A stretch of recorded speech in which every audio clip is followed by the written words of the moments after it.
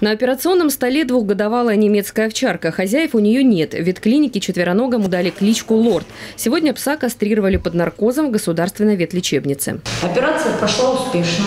Сейчас вы забираете, отвозите на приют, помещаете в отдельный вольер на сегодняшний день.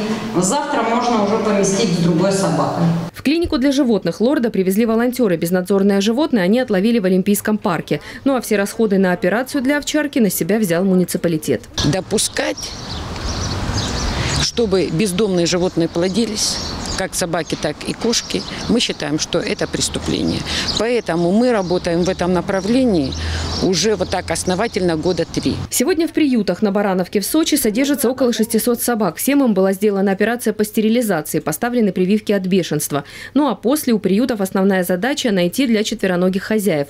В приюте БИМ, например, за последние два года в хорошие руки отдано около 80% бездомных собак. Сейчас именно акцент ставится на том, что животное стерилизовано. И уже даже возраст не важен. То есть, э, если раньше брали как бы, ну, предпочитали щенков, а потом дальше там уже сами решали эти вопросы, то сейчас больше звонков э, спрашивают, стерилизовано ли животное, кастрировано ли оно. И это радует хотел бы обратиться к владельцам, к владельцам э, баз промышленных, к владельцам э, ресторанов, столовых, которые есть, к садоводам нашим любимым, которые любят животных, но когда они безнадзорно плодятся у них на базах, они их выбрасывают в город. И мы получаем ту проблему, которая у нас сегодня есть.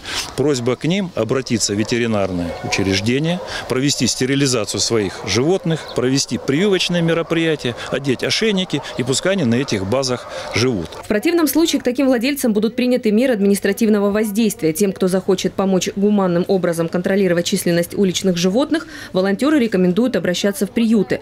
Но принести на стерилизацию дворовую кошку или собаку можно и самим. Государственные ветклиники на улице Пластунской в Центральном районе, на улице Энергетика в Адлере и на улице Колораж в Лазаревке сделают стерилизацию или кастрацию всем таким питомцам абсолютно бесплатно. Сейчас решается вопрос участия и частных клиник в этой работе.